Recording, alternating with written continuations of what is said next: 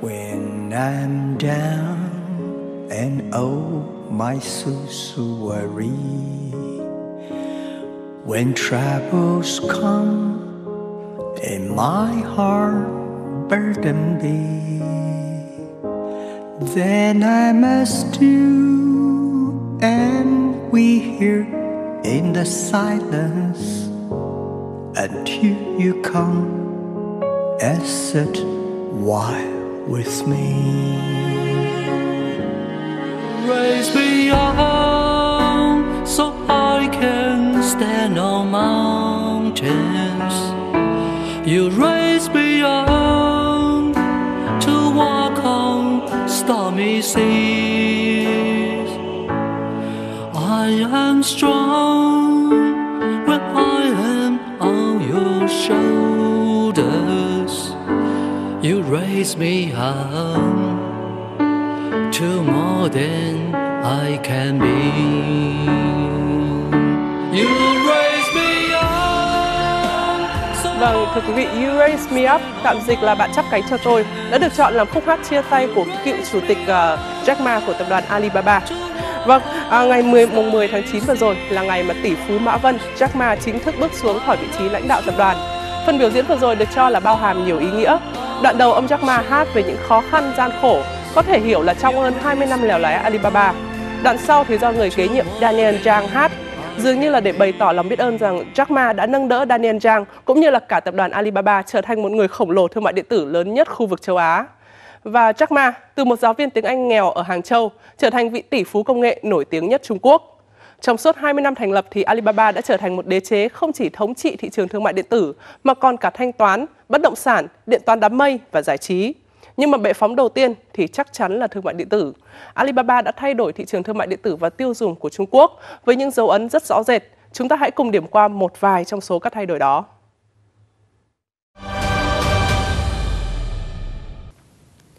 Nhìn vào lịch sử của đế chế Alibaba thì có thể thấy giai đoạn 2010 tới nay là phát triển vượt trội nhất. Và giai đoạn này cũng trùng với thời điểm mà thương mại điện tử tại Trung Quốc có những đột phá đáng kinh ngạc. Trong vòng 10 năm, trang thương mại điện tử Taobao của Alibaba đã phát triển nhanh chóng. Trên khắp cả nước Trung Quốc có khoảng 2.000 ngôi làng được gọi là ngôi làng Taobao. Đây là từ dùng để chỉ các địa phương mà từ công việc sản xuất cho tới các sản phẩm bán ra đều phụ thuộc hoàn toàn vào trang này. Chỉ trong 10 năm đó, thói quen tiêu dùng của người Trung Quốc đã thay đổi nhanh chóng và chắc chắn Alibaba là một trong những động lực thúc đẩy sự thay đổi đó. Trung bình mỗi ngày mỗi người Trung Quốc dành 3 tiếng đồng hồ để mua hàng trên mạng. Trải nghiệm mua hàng của họ cũng được nâng cấp, từ khâu chọn hàng cho tới thanh toán chỉ bằng nhận diện khuôn mặt hoặc là quét mã QR.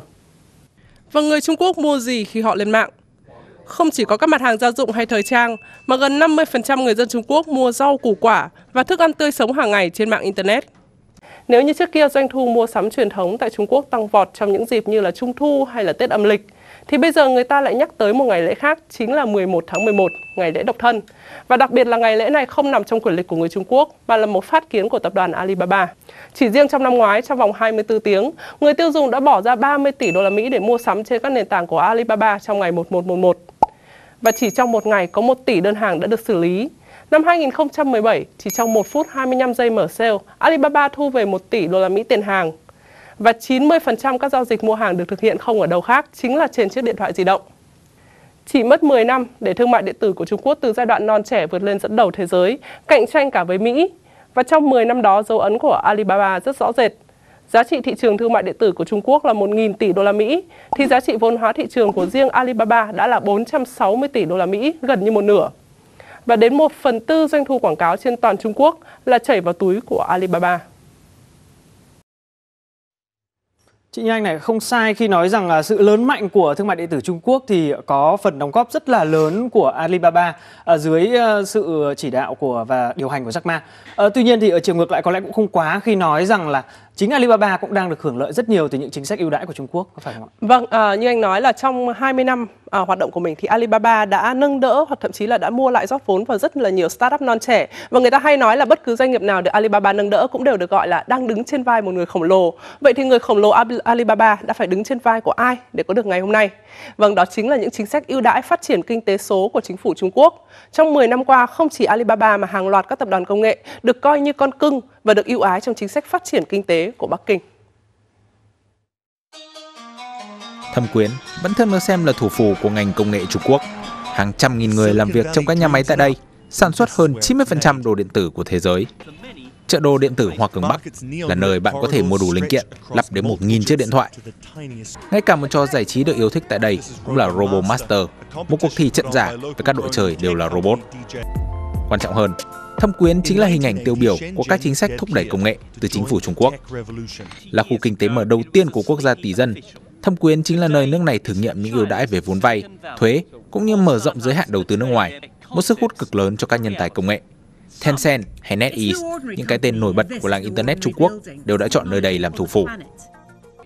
Những người đến đây khởi nghiệp đều có ước mơ lớn. Nó có một hệ sinh thái nguyên vật liệu khổng lồ, lực lượng lao động chất lượng cao và cả logistics thuận lợi. Bước vào thời kỳ bùng nổ Internet, các chính sách bảo hộ và khuyến khích công nghệ trong nước vẫn không có dấu hiệu suy giảm. Trong khi các ông lớn quốc tế như Google hay Amazon chất vật để được cấp phép, còn lĩnh vực tài chính và fintech vẫn bị kiểm soát nghiêm ngặt, thì thị trường tỷ dân trở thành một mảnh đất quá màu mỡ cho Tmall, WeChat hay Alipay thống lĩnh. 42% lượng giao dịch thương mại điện tử toàn cầu hay hơn 500 tỷ đô la Mỹ giá trị thanh toán trực tuyến là những con số mà các thị trường lớn khác phải thèm muốn. Và không ngạc nhiên khi điều này kéo theo một sự bùng nổ khác, các tỷ phú công nghệ. Jack Ma, Tony Ma của Tencent và Richard Liu của JD là những cái tên mở đầu trong một giai đoạn mà nền kinh tế số 2 thế giới có thêm 2 tỷ phú đô la Mỹ mỗi tuần. Chỉ trong vòng chưa đầy tới 10 năm, các tỷ phú công nghệ Trung Quốc đã đóng góp giá trị kỷ lục cho nền kinh tế, tạo lập những tập đoàn hàng đầu thế giới và tài sản của họ cũng tăng chóng mặt. Và với chiến lược Made in China 2025, giờ đây thâm quyến và cả khu vực vịnh lớn xung quanh không chỉ giới hạn ở một trung tâm sản xuất. Nhiều lĩnh vực như trí tuệ nhân tạo AI, blockchain và cả 5G, Trung Quốc đã có số lượng băng sáng chế mới gấp nhiều lần Mỹ, đánh dấu một tham vọng lớn hơn của nước này trong việc tạo lập một thung lũng silicon mới của riêng mình. Chị Nhanh này tôi thấy có một số trang báo quốc tế đã đặt ra dấu hỏi rằng liệu à, sự à, ra đi của Jack Ma có đánh dấu một cái bước chuyển mới trong thương mại điện tử của Trung Quốc không? Vâng, vì Jack Ma linh hồn của Alibaba đúng không ạ? Tôi nghĩ rằng đây là một dấu mốc thực sự bởi vì thị trường thương mại điện tử nội địa của Trung Quốc hiện nay thì đang tiến tới ngưỡng bão hòa khi mà miếng bánh không thể lớn hơn trong khi sự cạnh tranh thì càng ngày càng khốc liệt. Như trước kia chỉ có JD.com thì vài đây à, vài năm trở lại đây một đối thủ nặng ký nổi lên chính là Pinduoduo. Rõ ràng là Alibaba cần có những tính toán mới, ví dụ như là mở đường ra biển lớn, ở đây là thị trường quốc tế. Lứa doanh nghiệp đầu tiên của Trung Quốc đã thành công với chiến lược này gồm có Huawei, ZTE và TCL. Vậy lứa tiếp theo như là Alibaba thì cần phải làm gì? Có thể nói Jack Ma đã hoàn thành sứ mệnh của à, đưa Alibaba đứng đầu thị trường nội địa và rất có thể là người kế nhiệm Daniel Zhang bây giờ sẽ cần tính tới chiến lược cạnh tranh ở những mảnh đất mới, ít sự ưu ái và nhiều cạnh tranh hơn. Theo một báo cáo được BCG, một công ty nghiên cứu có trụ sở tại Mỹ công bố hồi tháng 5 vừa qua, có tới gần 60% lãnh đạo cấp cao của các tập đoàn công nghệ vốn thành lập đầu thế kỷ 21 này tại Trung Quốc đều cho biết mở rộng ra thị trường quốc tế được xem là ưu tiên số 1 hiện nay thay vì tập trung vào thị trường nội địa. Và địa điểm được các công ty công nghệ Trung Quốc hướng đến là Ấn Độ và Đông Nam Á.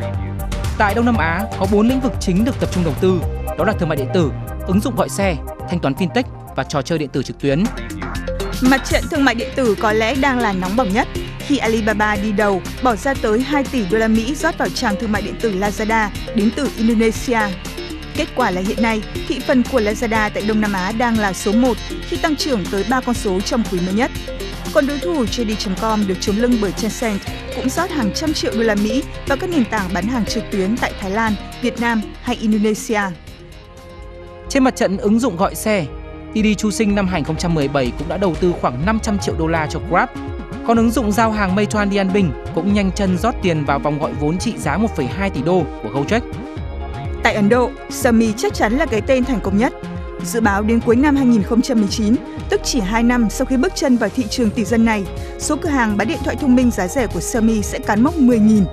100 triệu chiếc smartphone đã được bán ra, qua đó giúp Xiaomi đánh bật Apple vươn lên giành vị trí thứ 3 trong top 5 nhà sản xuất điện thoại lớn nhất thế giới.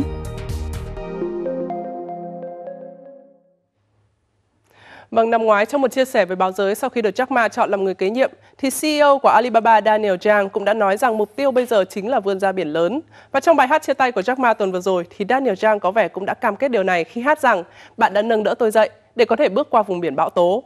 Bão tố nhưng đây sẽ là một kỷ nguyên mà các tập đoàn công nghệ của Trung Quốc phải bước qua.